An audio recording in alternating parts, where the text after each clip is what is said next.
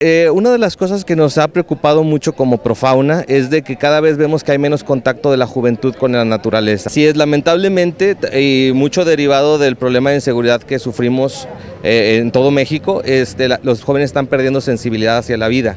Entonces es, un, es una de las manifestaciones precisamente el maltrato a los animales.